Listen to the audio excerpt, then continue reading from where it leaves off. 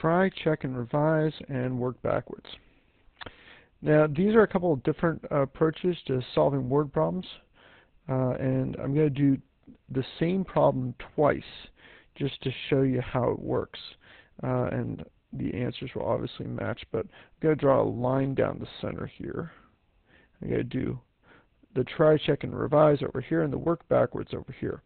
So if we look here, if I want to figure out the answer to this question, baby crocodiles are about 12 inches long when they hatch and grow 10 inches a year. How old is a crocodile that is 42 inches long? Okay, well, so what do I need to do? I need to figure out what am I looking for. I'm looking for how old is the crocodile. So how many years old it's going to be. So what's the information I've got? And this is all very nice and neat. It's uh, if I look here, the crocodile is 42 inches long. It grows 10 inches a year. And baby crocodiles are 12 inches long when they are born.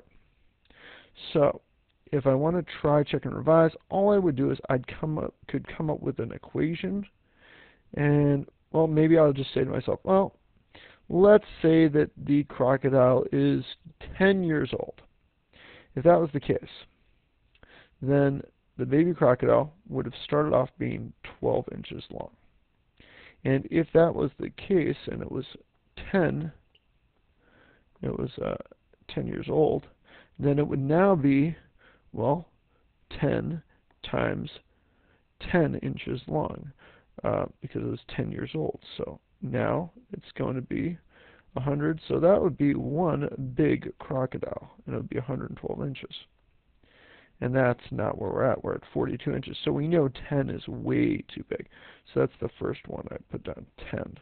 Okay, so now let's try 5.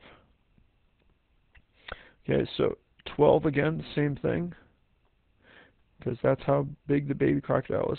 Well, if it's 5, then how many inches would it grow? It would grow 50 inches. And it looks like we're getting closer, but we're not there yet. So 5 would be 50 inches, and that would be 62 inches long, and that's not going to work. So let's try, mm, still need to go down a bit. We're in the, going in the right process. So let's try instead, oh, let's try two years. 12 inches to start off with. And now it's going to be 20. 20 inches long because it's it's 2 times 10, 20 inches long. And I'm still not there. But the important thing to realize is that I went ahead and I switched. I went from being over to being under. So I know it has to be between 2 and 5. And so now I'm just going to guess, and I know what the answer is. And if you're following along, you can probably figure this out. 3, and so 12. And sometimes I might just want to, it's not that, it's not that, it's not that, after I figured it out. 3, 12 inches it starts off with. It goes to 30 inches and that's going to be 42 inches. So yes, this would be our answer here, 3. Now, for that would be an example of try checking and revising, because again, I'm trying a bunch of different answers, and I finally get to the one. But I'm mentally thinking to myself, am I getting closer? If I started here and then I said, oh, well, you know what, that that's too big, and then I say, oh, well, maybe maybe it's instead 20 years old. That would be going the wrong way. So you just need to kind of logically deduce that. So if we look here, um, the second way is work backwards. And if you think about it, the crocodile is 42 inches long. So we've got a 42 inch long crocodile.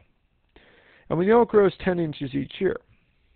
We're trying to eventually get down to 12. So all we have to do is subtract 10.